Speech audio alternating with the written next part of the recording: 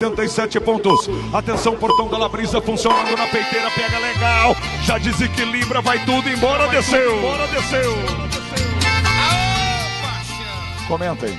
Olha, dificilmente meu Júlio César Camargo cair de cavalo.